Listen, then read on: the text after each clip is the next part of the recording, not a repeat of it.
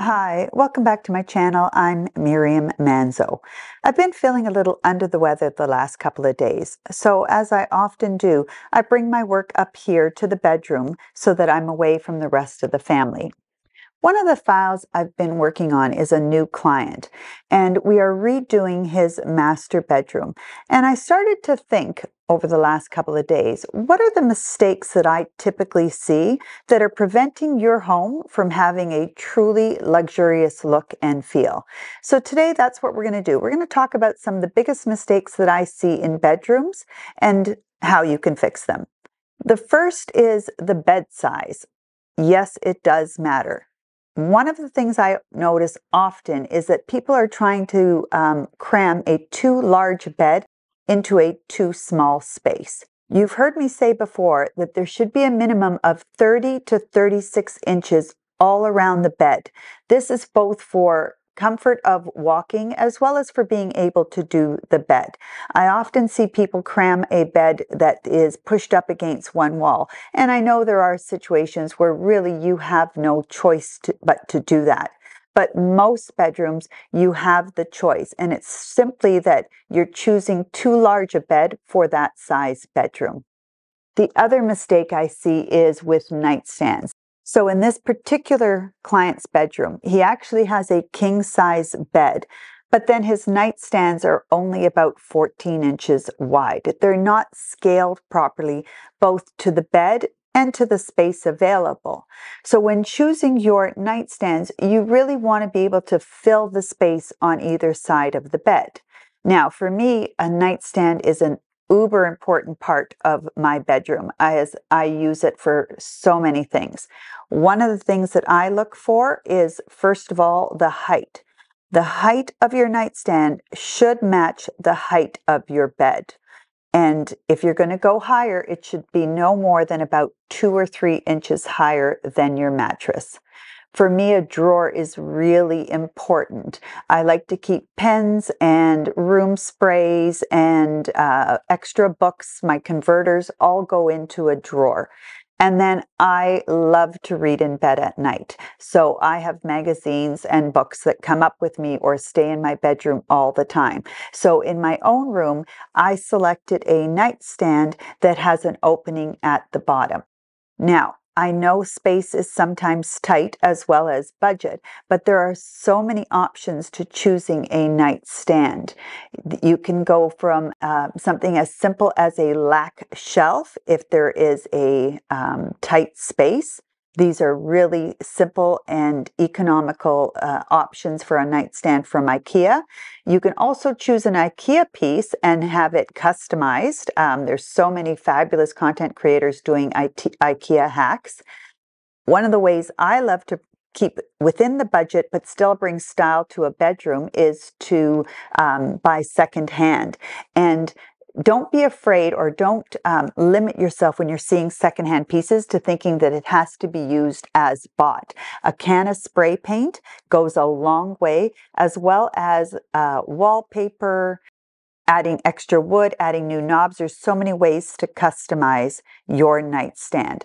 For my own personal nightstand, I found a style that I loved that was the right size, but I didn't like the finish it was in. So I purchased it and then I did my own paint finish on it, including having the interior of the opening done in a brass finish. I absolutely love that. The next thing preventing your room from having a luxe look is a too slim mattress really to get that luxe look you want to get a pillow top mattress. It's really one of the most important pieces in your room because you're spending every night on it.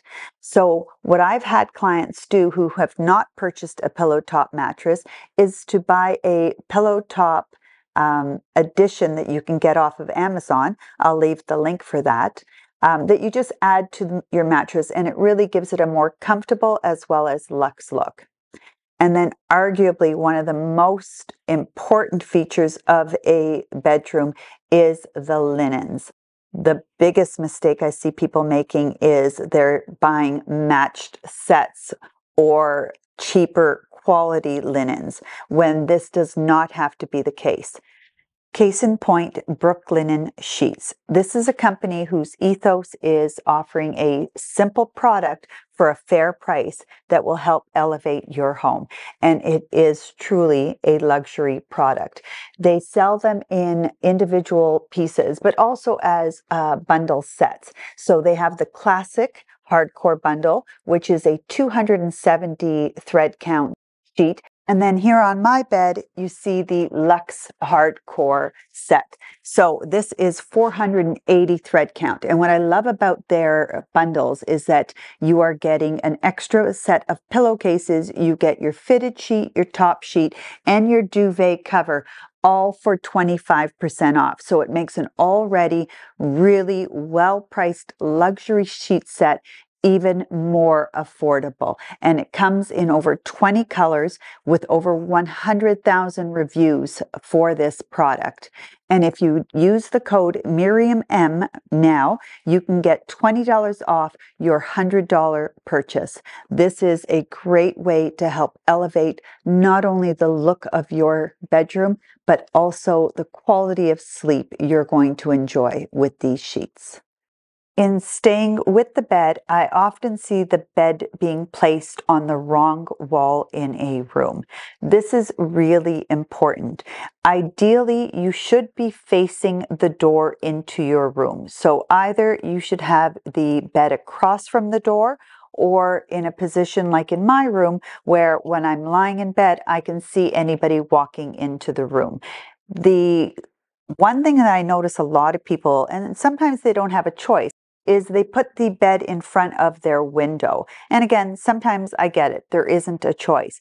But when that is the case, you should be selecting a low slung and low profile bed. You want to try not to block the natural light coming in through the windows. And as a matter of fact, if you could pick a headboard, um, for example, something that is a wrought iron or an open weave headboard, that would help. Um, with that placement. This leads us to another one of the most frustrating for me mistakes that I see, which is a dimly lit room or a room that doesn't have enough light. Now, when we are starting from scratch, we light in layers. We do pot lights, we do a ceiling fixture, we do lamps or sconces, um, and then I even build in night lights into many of the rooms we design. But when you are coming into a situation where you're inheriting that room, very often you're going to find that there is only a ceiling fixture. So First thing to do is make sure that that ceiling fixture is sized properly for the room itself. How do we do that? You take the width and length of the room. For example, a 10 by 10 room would mean you should have the ideal size for your chandelier or light fixture be 20 inches. And I would always rather go um, a, scaled a little too big rather than a little too small. And then keep in mind your ceiling height. You would ideally like a um, clearance of at least 80 to 84 inches to the bottom of your light fixture. Now, if it hangs over a bed, you could probably cheat that to about 78 inches, but you don't want it to be any lower than that. Light bulbs are very important. Again, I see so many people with too cool a light bulb, not just in the bedroom, in all rooms, but I find it particularly offensive when it's too cool a light bulb. It winds up giving a very institutional look and not a luxurious look to your bedroom. I recommend to my clients that you stick with a 3000K to a 3500K at the highest. Now, if we go back to our uh, nightstands, if they are on the smaller size, consider doing a wall sconce rather than a table lamp for your bedside lighting. There are so many sconces that you can buy that either have a wire coming down that plug in that allow you to um, put that sconce without bringing an electrician in. And now there's some fabulous light bulbs that you can put in that are remote operated. So again, you don't need an electrician. And if you are designing the room from the um, ground up or renovating that room, consider a pendant hanging from a ceiling so that that smaller nightstand still has ample room for the things that you need. Another one of the details that is preventing your room from having a luxurious feel is the color of the bedroom itself. The bedroom is not a place for bold color. This is supposed to be a room that is soothing, um, where you go to uh, recharge, not to re energize necessarily. There's a bit of a difference. Um, so the colors you should be looking to should be more um, soft, more natural, more organic rather than bold. If you do love brighter colors or bolder colors, pick a piece of art and then a couple of pillows that give you that pop of color you're looking for. But for me, the walls should be kept very neutral. Um, a lighter color if you're looking for an airier bedroom feel, and then darker if you're looking for a moodier bedroom feel. And then don't forget to bring in contrast. Now, if that contrast isn't in the color itself, then you should be incorporating contrast in some textures. And this helps to give you a warm, inviting, and cozy look to the bedroom. So beyond color, the next mistake I see is just too much visual clutter. There are too many pillows on a bed. Yes, there is such a thing, and that is coming from a woman. You don't need to have the bed piled with pillows in our stagings, if you go back and take a look at some of our videos, we like to pile our pillows up too high and then just do a um, couple of throw pillows in front of them. That's the easiest way to bring a little bit of color uh, to the bedroom while keeping it from looking like you really can't even jump in the bed because you're going to be fighting for space with your pillows. And then your nightstands. Again, this goes back to what I said about finding a nightstand with a drawer. Um, I've I've been in clients' houses where they have 30 bottles of um, prescription drugs and vitamins on their nightstand because they like to have it at hand so they remember to take it. But there's no reason that that clutter has to be on the nightstand. It should be either in a drawer or in a box underneath the nightstand um, if it's a floating shelf situation. The visual clutter is what's stopping you from truly relaxing when you go to sleep. Um, but it's also, like I said, preventing you from having that luxurious look. Too much furniture is also a problem that I've seen. I know that for a lot of you, space is at a premium and that storage is important. But if you're going to need that much storage, then think vertical. There's nothing for me worse than seeing a dresser with another high boy next to it eliminate both of them and go with a armoire. Again, IKEA has some fabulous uh, pieces that you can customize so that it looks like a armoire in your space. Um, and this will give you the vertical space you need for storage while decluttering the room. And if you have a TV in the room, I prefer it to be hidden. In my own bedroom, I designed this unit that houses storage at the bottom, display across the top, and then I've got my TV behind closed doors so that I only see it when I actually want to watch TV.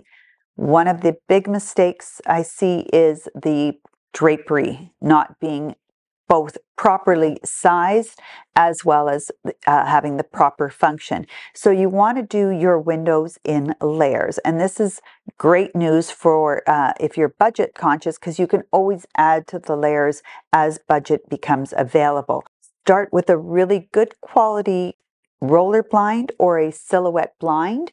And if you're the type of person that needs a room to be completely black in order to sleep, make sure you're getting a room darkening blind and then add layers. In my own bedroom, again, you can see I've gone with sheers. I don't need to have the room to be dark to fall asleep. And more importantly, I like to wake up with the first light. So I don't want to be uh, in pitch black so that I don't know what time it is.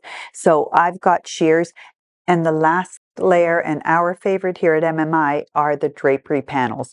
Now we often do these as a side panel, meaning they are non-functional, but they are bringing in the color pattern or texture into our room that are tying our different design elements together.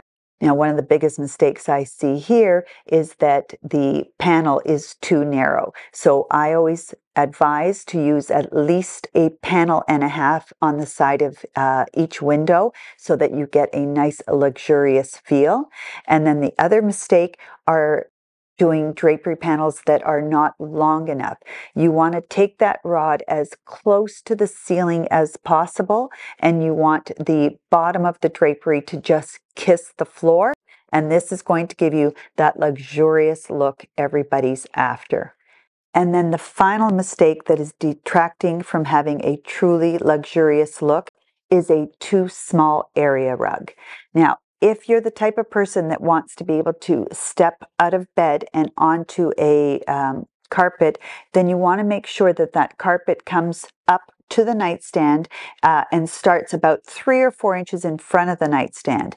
And then I always like it to be as wide as the nightstand. So, in other words, if your nightstand is three feet wide um, on either side of the bed, you want to make sure the carpet is three feet wide on either side of the bed. This will help um, give the room a larger look and feel, um, as well as giving you the most amount of space to walk on. The worst thing is when you feel like you're, you've got only a foot of space to walk on, or you're going to fall off that area rug. And then bring it as far forward as you can. So if you have a dresser in front of your bed, I suggest you take the carpet to three or four inches in front of the dresser. So eh, if you're going to go with a carpet, know the area that you want to have that carpet on and really size appropriately to give you that luxurious feel. Don't forget to subscribe, like, leave a comment and share this video and click the bell icon to be notified of future videos. And then I'm going to leave the links to some of our other videos where we talk more in depth about things like drapery, lighting, choosing your bedroom styles. But I hope this video was helpful for you to have all the information on creating a luxurious space and correcting some of those mistakes you may be making that are preventing you from having a luxurious bedroom. And don't forget to use code MiriamM to get $20 off your $100 purchase with Brooklinen. I guarantee you'll be happy you did. Thanks for watching. I'm Miriam Manzo.